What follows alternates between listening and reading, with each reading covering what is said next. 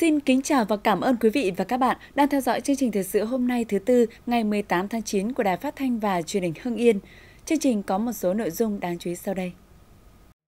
Phó trưởng ban thường trực Ban Tổ chức Trung ương Nguyễn Thanh Bình làm việc với Ban Thường vụ tỉnh ủy.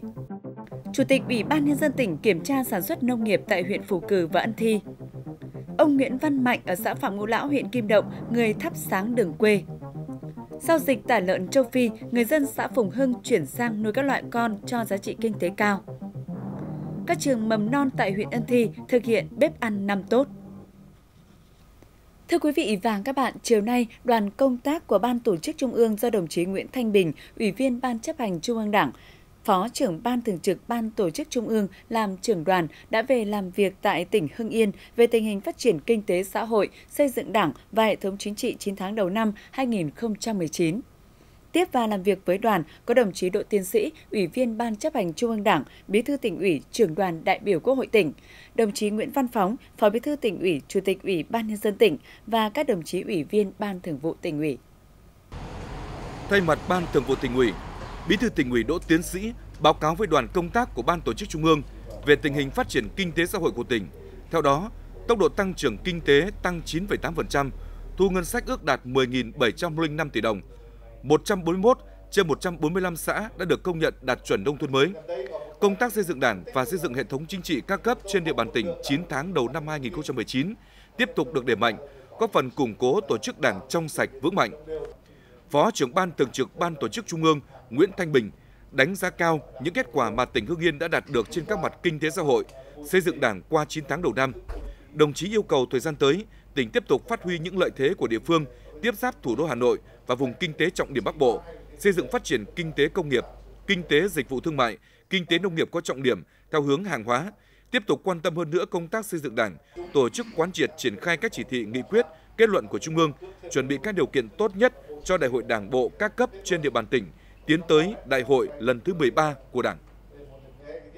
Sáng nay, đồng chí Nguyễn Văn Phóng, Phó Bí thư tỉnh ủy, Chủ tịch Ủy ban nhân dân tỉnh đã đi kiểm tra chỉ đạo sản xuất tại Trung tâm giống nông nghiệp tỉnh và huyện Ân Thi. Cùng đi có lãnh đạo Sở Nông nghiệp và Phát triển nông thôn, Cục Thống kê và Hội Liên hiệp Phụ nữ tỉnh. Vụ mùa này, Trung tâm giống nông nghiệp tỉnh duy trì sản xuất 20 ha giống nguyên trùng nếp thơm hương yên, nếp 415 để cung cấp cho nông dân trong tỉnh và khảo nghiệm khoảng trên 1,5 hecta một số giống lúa mới.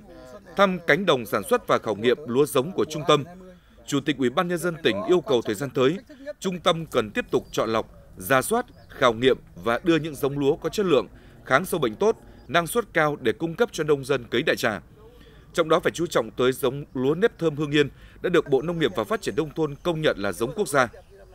Sở Nông nghiệp và Phát triển nông thôn cần phối hợp chặt chẽ với các ngành địa phương, chú trọng mở rộng diện tích lúa nếp thơm hương yên trong những vụ tới đạt từ 70 đến 80% diện tích, góp phần xây dựng thương hiệu sản phẩm OCOP để mạnh tái cơ cấu ngành nông nghiệp. Kiểm tra sản xuất tại huyện Ân Thi, thăm cánh đồng sản xuất lúa nếp thơm hương yên tại xã Quảng Lãng, Chủ tịch Ủy ban nhân dân tỉnh Nguyễn Văn Phóng biểu dương huyện Ân Thi vụ này đã đưa vào gieo cấy trên 3.700 ha lúa nếp các loại, chiếm gần 50% tổng diện tích. Trong đó, có nhiều xã đưa vào gieo cấy tới 60% diện tích lúa nếp thơm hương yên. Nhân dịp này, Chủ tịch Ủy ban nhân dân tỉnh đến thăm xã Cẩm Ninh, xã điển hình của huyện Ân Thi, thực hiện tốt phong trào xây dựng nông thôn mới gắn với việc giữ gìn cảnh quan làng quê, bảo vệ môi trường. Hiện Hội Phụ nữ xã Cẩm Ninh trồng được gần 5 km đường hoa tại 7 thôn, tạo cảnh quan cho làng quê luôn xanh sạch đẹp. Đồng chí Nguyễn Văn Phóng nhấn mạnh, trong xây dựng nông thôn mới, bên cạnh việc phát triển kinh tế xây dựng cơ sở hạ tầng, thì thiết chế văn hóa, môi trường, an ninh trật tự là những tiêu chí rất quan trọng, tạo nên sự phát triển bền vững cho mỗi làng quê. Vì vậy, huyện Ân Thi và các xã phải có những biện pháp quan tâm thiết thực, ngày càng nâng cao các tiêu chí này. Các cấp hội Liên hiệp Phụ nữ trong tỉnh cần đẩy mạnh phong trào xây dựng đường hoa để tạo cảnh quan xanh, sạch đẹp cho làng quê. Nhân dịp kỷ niệm 74 năm Quốc khánh nước Cộng hòa xã hội chủ nghĩa Việt Nam, sáng nay, đồng chí Đoàn Văn Hòa, Ủy viên Ban Thường vụ tỉnh ủy, Giám đốc Sở Văn hóa Thể thao và Du lịch tỉnh trao huy hiệu 70 năm tuổi Đảng cho đảng viên lão thành cách mạng tại xã Hồng An và Phú Thịnh, huyện Kim Động. Đó là đảng viên Đỗ Đình Điền, sinh hoạt tại chi bộ thôn Đống Long, xã Hồng An và đảng viên Nguyễn Thị Vì, sinh hoạt tại chi bộ thôn Trung Hòa, xã Phú Thịnh. Cả hai đều vào Đảng năm 1949 đồng chí Đoàn Văn Hòa bày tỏ sự trân trọng với những công hiến của các đảng viên lão thành cách mạng trong sự nghiệp đấu tranh, xây dựng và bảo vệ Tổ quốc, chúc đảng viên Đỗ Đình Điền, Nguyễn Thị Vì luôn mạnh khỏe trường thọ, tiếp tục là gương sáng để con cháu, thế hệ cán bộ, đảng viên noi theo. Sáng nay, Ban Quản lý Khu Di tích Quốc gia đặc biệt Phố Hiến đã tổ chức khai hội đền Trần. Đến dự có đồng chí Trần Thị Thanh Thủy, Ủy viên Ban Thường vụ tỉnh ủy, trưởng Ban tuyên giáo tỉnh ủy. Đền Trần tọa lạc trên đường Bãi Sậy thuộc phường Quang Trung, thành phố Hưng Yên. Đền thờ Hưng Đạo Đại Vương Trần Quốc Tuấn, người có công lao to lớn trong ba cuộc kháng chiến chống quân Nguyên Mông, đặc biệt là chiến thắng Bạch Đằng Giang lịch sử năm 1288. Đền có kiến trúc theo kiểu chữ Tam, gồm tam quan, tiền tế, trung từ và hậu cung.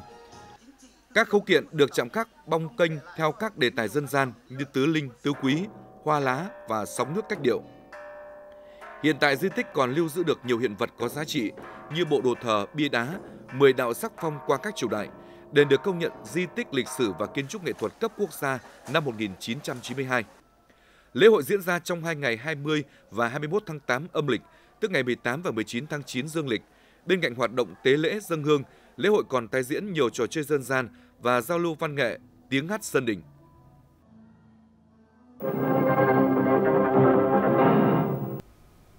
Chương trình thời sự xin chuyển sang những thông tin khác. Thưa quý vị và các bạn, nhờ thực hiện tốt kế hoạch kinh doanh và nâng cao các dịch vụ, 8 tháng đầu năm nay, Bưu điện tỉnh Hưng Yên tiếp tục duy trì mức tăng trưởng cao và là một trong những đơn vị dẫn đầu Tổng công ty Bưu điện Việt Nam. Theo đó, 8 tháng đầu năm nay, Bưu điện tỉnh Hưng Yên đạt doanh thu gần 312 tỷ đồng. Cả ba ngành nghề kinh doanh chính đều tăng trung bình 126%. Cụ thể, phân phối truyền thông tăng 133%, tài chính bưu chính tăng 123% và bưu chính chuyển phát tăng 112% so với cùng kỳ năm 2018. Nhờ đó, thu nhập của cán bộ công nhân viên và người lao động của đơn vị đã được cải thiện rõ rệt với mức tăng từ vài trăm ngàn đồng đến hàng triệu đồng một người trên tháng so với năm 2018. Dự kiến trong các tháng cuối năm nay, Bưu điện tỉnh sẽ tiếp tục duy trì tăng trưởng cao do nhu cầu sử dụng sản phẩm thường tăng so với 6 tháng đầu năm. Mặt khác, Trung tâm Phục vụ Hành chính công của tỉnh đi vào hoạt động cũng sẽ góp phần tăng doanh thu của đơn vị. Tiếp tục hoàn thiện và nâng cao tiêu chí giao thông, xã Thắng Lợi huyện Văn Giang vừa đầu tư hơn 5 tỷ đồng để nâng cấp mở rộng đường trục xã. Đoạn đường trục xã được nâng cấp, mở rộng có chiều dài trên 1 km từ đê sông Hồng đến thôn Sâm Khố, trên cơ sở nền đường bê tông cũ với bề mặt 8 m, giờ thành 12 m có rãnh thoát nước hai bên. Trong đó mặt đường chính là 8 m, mỗi bên 2 m lề, mặt đường được phủ bê tông áp phan nhựa. Toàn bộ trên 5 tỷ đồng để làm đường đều được trích từ nguồn ngân sách của xã bán đất giãn dân. Việc đầu tư nâng cấp đường nằm trong chương trình nâng cao chất lượng các tiêu chí hạ tầng, tạo thuận lợi cho việc giao thương hàng hóa nông sản dịp cuối năm. Đến nay, cơ bản đường trục của xã Thắng Lợi đều được trải nhựa áp phan, 100% đường làng ngõ xóm và trên 80% đường ra đồng của địa phương này đều được cứng hóa với chiều rộng mặt đường hẹp nhất là 3 m, độ dày 20 cm. Xuất thân từ cảnh nghèo khó, thoát ly đi làm ăn xa, cuộc sống đã khá giả. Ông Nguyễn Văn Mạnh ở thôn Tiên Quán, xã Phạm Ngũ Lão, huyện Kim Động ủng hộ trên 1 tỷ đồng để thắp sáng đường quê. Nắm được chủ trương xã hội hóa của tỉnh, của xã về việc xây dựng nông thôn mới, đầu năm 2019, ông Mạnh đã quyết định đầu tư trên 1 tỷ đồng, kéo đường điện, thuê thợ lắp đặt 61 đèn cao áp chạy dài 2,5 km ngay tại thôn và mỗi tháng ông chi trả trên 2 triệu đồng tiền điện. Bản thân tôi sinh ra có những một con nhà nghèo. Thế sau cái đó rồi đi ra ngoài xã hội thì mình cũng cố gắng vượt lên như vậy chính mình. Thế thì à, cũng có một chút số dư để mình làm như vậy, một cái đường điện này như vậy thắp sáng cho bà con. Thứ nhất là như vậy đi lại để về làm lụng, buôn bán, kinh doanh, rồi đi làm như vậy công nhân về để cho nó sáng. Tôi cũng muốn là tất cả những người con em ở mọi miền quê hương tổ quốc giống như tôi để như vậy xây dựng lên cho một xã hội văn minh tốt đẹp. Ông Mạnh cho biết, dù đi làm ăn xa đã 7 năm nay, nhưng ông còn ấp ủ nhiều dự định với mong muốn làm ăn tốt hơn để xây dựng được quỹ duy trì đường điện lâu dài, được chung tay góp sức xây dựng nhiều công trình cộng đồng, thực hiện các hoạt động an sinh xã hội nhiều hơn nữa cho người dân tại quê hương. Cảm ơn sự ờ, ủng hộ của ông bà Mạnh à, Lân đối với ờ, quê hương ờ, Tiên Quán chúng tôi. Từ khi có cái đường điện này thì nói chung là quê hương nó cũng rạng rỡ lên. Hoạt động này thật đáng trân trọng, giúp cho con đường làng của thôn Tiên Quán không chỉ được thắp sáng hơn mà còn có ý nghĩa quan trọng trong việc hạn chế tệ nạn xã hội, đảm bảo an toàn cho người tham gia giao thông trên địa bàn. Để giúp các hộ chăn nuôi ổn định cuộc sống, huyện Tiên Lữ đã phê duyệt hỗ trợ cho các hộ dân có lợn bị tiêu hủy trên 19 tỷ đồng. Tính đến ngày 15 tháng 8, tổng số lợn bị tiêu hủy do mắc và nghi mắc bệnh dịch tả lợn châu Phi trên địa bàn huyện là trên 15.000 con của 776 hộ. Tổng số tiền đã phê duyệt hỗ trợ là 19,2 tỷ đồng. Đến nay, 8 trên 15 xã thị trấn đã công bố hết dịch. Nhằm chia sẻ khó khăn với những hộ chăn nuôi và giúp các hộ tiếp tục sản xuất, từ ngày 17 tháng 9, huyện tiến hành chi trả hỗ trợ đợt 1 cho 508 hộ với trên 9,3 nghìn con lợn bị tiêu hủy trước ngày 5 tháng 5. Số tiền chi trả là 9,6 tỷ đồng, mỗi hộ được nhận 50% tổng số tiền hỗ trợ. Những hộ dân có lợn bị tiêu hủy sau ngày 5 tháng 5 và 50% số tiền hỗ trợ còn lại, Ủy ban nhân dân các xã thị trấn sẽ tổng hợp và tổ chức chi trả vào đợt 2. Do bệnh dịch tả lợn châu Phi, nhiều hộ dân xã Phùng Hưng, huyện Khói Châu đang tạm dừng chăn nuôi lợn, tận dụng các diện tích chuồng lợn bỏ trống và mặt nước sẵn có để nuôi ếch, bước đầu đem lại hiệu quả kinh tế khá.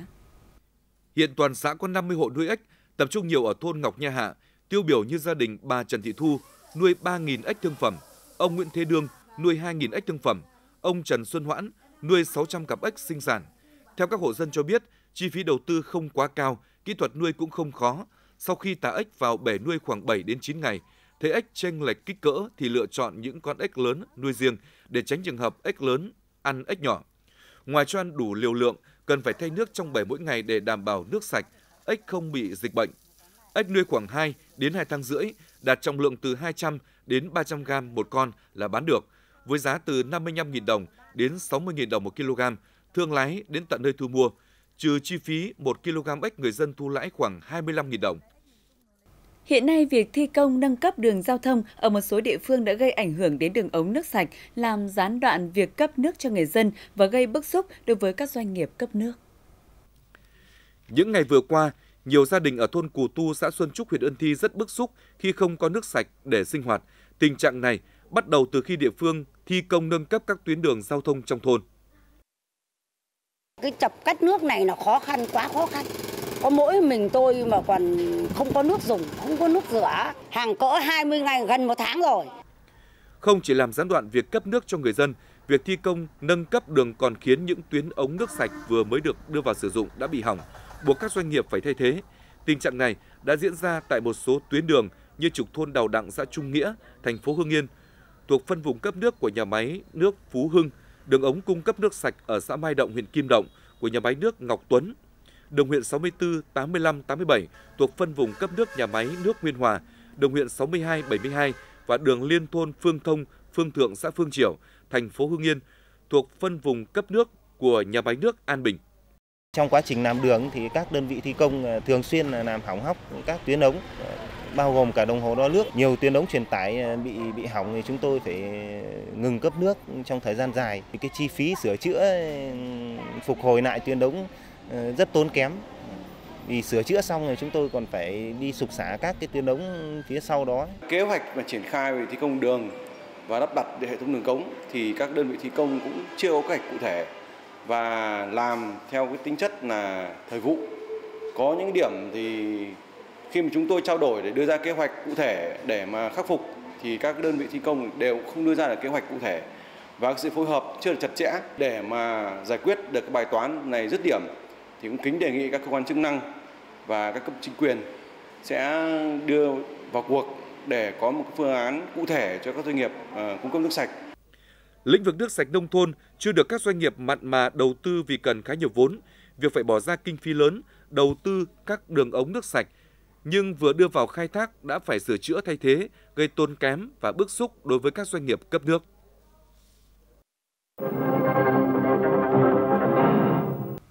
Thưa quý vị và các bạn, ngày 18 tháng 9, Trường Cao đẳng Cơ điện và Thủy lợi tổ chức khai giảng năm học 2019-2020. Dự khai giảng có lãnh đạo Sở Giáo dục Đào tạo, các thầy cô giáo, các doanh nghiệp và hơn 1.500 học sinh, sinh viên.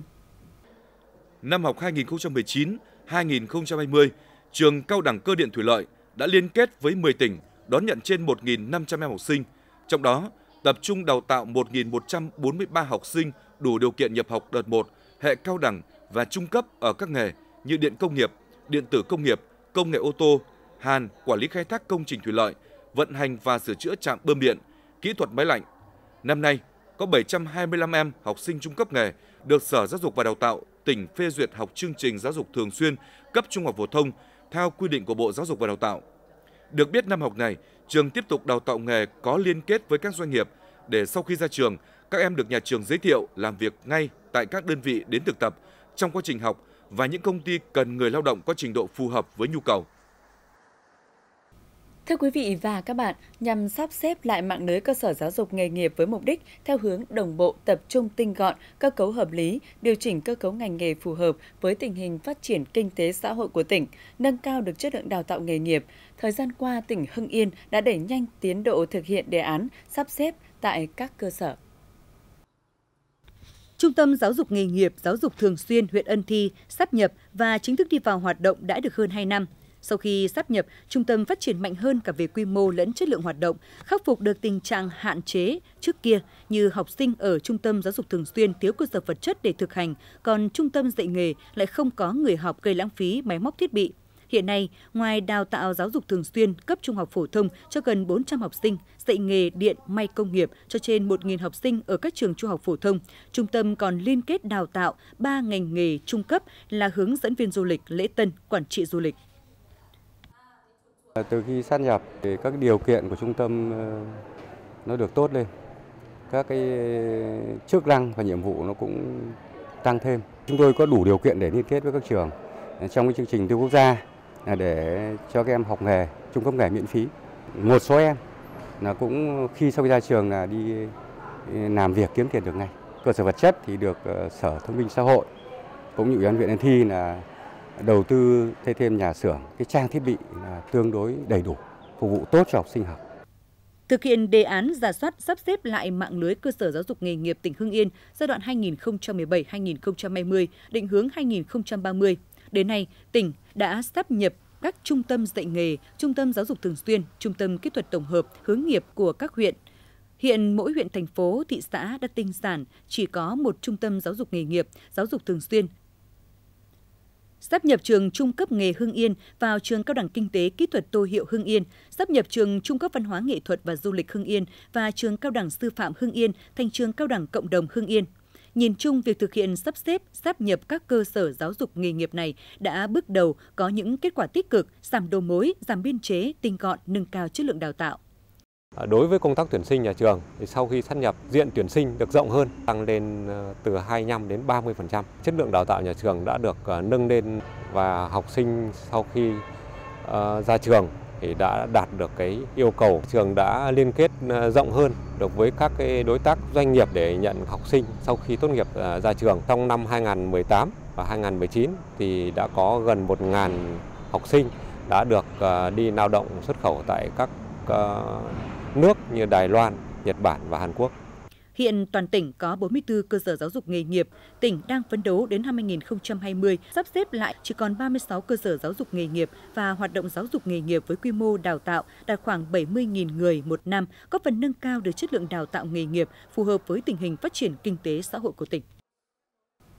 Huyện Ân Thi hiện có 20 trên 21 trường mầm non tổ chức bếp ăn bán trú. Trong thời gian qua, các trường nghiêm túc thực hiện bếp ăn năm tốt nhằm đảm bảo công tác chăm sóc và nuôi dưỡng trẻ.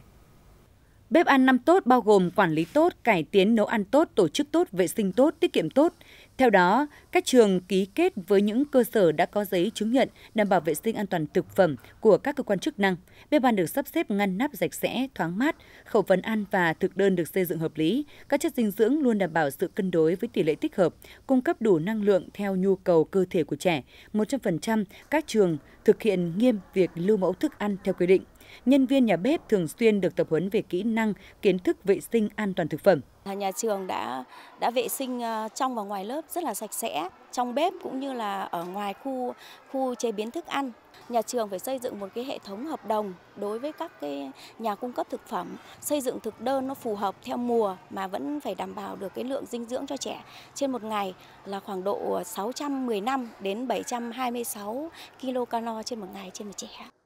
Tại huyện Ân Thi, bếp ăn bán chú đã được một số trường thực hiện từ năm 2005. Từ đó đến nay, trên địa bàn không xảy ra tình trạng trẻ bị ngộ độc thực phẩm hoặc có các biểu hiện bất thường liên quan đến mất vệ sinh an toàn thực phẩm. Thông qua khám sức khỏe định kỳ cho gần 7.000 trẻ, kết quả tỷ lệ phát triển tốt đạt trên 98%. Quý vị và các bạn thân mến, chương trình thời sự hôm nay của Đài Phát thanh và Truyền hình Hưng Yên xin được khép lại tại đây. Cảm ơn quý vị và các bạn đã dành thời gian theo dõi. Xin kính chào tạm biệt và hẹn gặp lại.